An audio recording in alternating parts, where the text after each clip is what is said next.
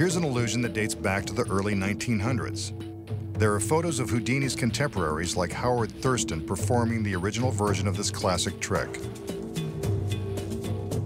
The magician shows us an oddly shaped cabinet. He walks around to give us the view from all sides. It looks just large enough to contain a human being.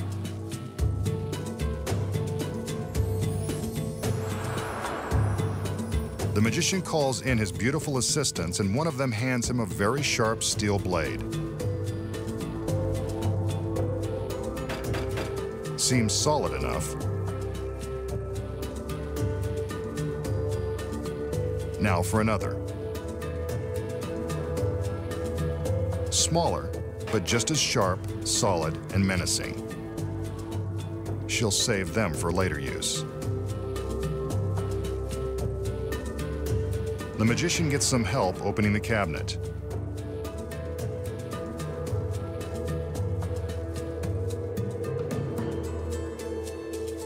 We can pretty much imagine what's going to happen next. Well, there's a switch. Instead of one of the girls, the magician has climbed inside. An assistant secures his neck with a steel strap.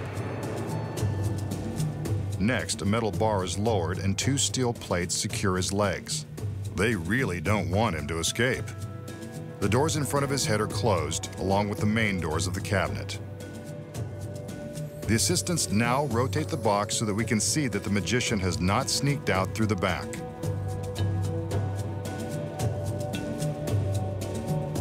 Next, the girl with the sharp blade slides the smaller one into the cabinet at neck height, separating the magician's head from the rest of his body. There's a painful razor burn. Now for the large blade. She slides it into the box the magician's waist.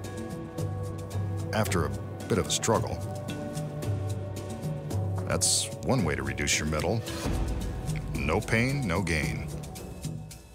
We can still see his legs, so we know he hasn't escaped from the cabinet or from serious injury. Yep, there's his head. But his torso has completely vanished.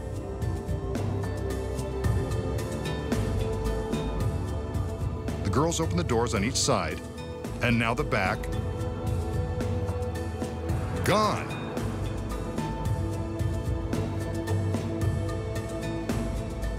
His legs are still there, no middle. Then his head. Looks like only part of him got out in time. But where did he go?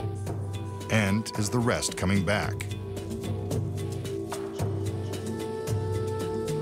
The doors are closed back up again so we don't have to look at this ghoulish mess.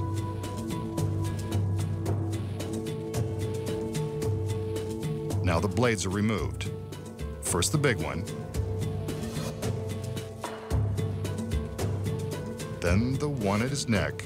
She's good at this. The cabinet goes for another spin so we can see that there is nothing tricky going on in the back. Let's look inside. There's his head. And his middle is returned.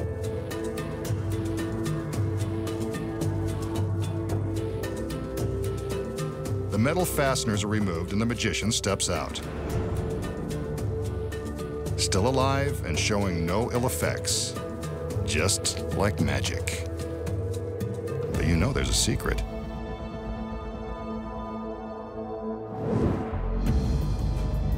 So, how did the magician survive one sharp blade through his neck, one through his gut, and his torso vanishing into the ether? Here are the secrets. First, the magician steps into the cabinet and the doors are closed. Before the first blade is inserted, the magician has already gone to work. Hidden in the top of the cabinet is a phony head, which is flipped down into position. From this view inside the box, you can see the magician reach up to release the fake head. From the front, it looks convincing. When the assistant is sliding the blade through what we think is the magician's neck, it's simply passing just beneath this false head. Next, we see the girl slide the large blade through the magician's waist. Hidden inside the box is a secret seat that is attached to the back of the cabinet and painted black so it can't be seen from the front. When the doors are closed, the magician sits down on this seat and bends forward, allowing the blade to safely pass just above him.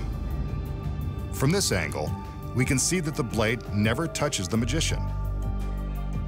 From the front, it appears as though he's still standing in place because his legs never move. The next secret is that the area above the metal plates is masked by sections of fake pant legs. He flips these into place to disguise the empty space and make it appear as though we are seeing his legs as though he were still standing. Here is the action with the cabinet doors open. The magician sits down on the concealed seat, flips in the fake legs, flips down the fake head, and bends forward to make room for the large blade.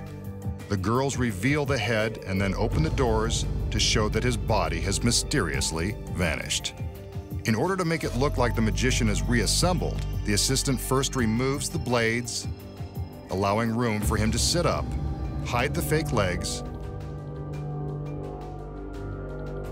flip the phony head back into its compartment, and stand up in preparation for his appearance.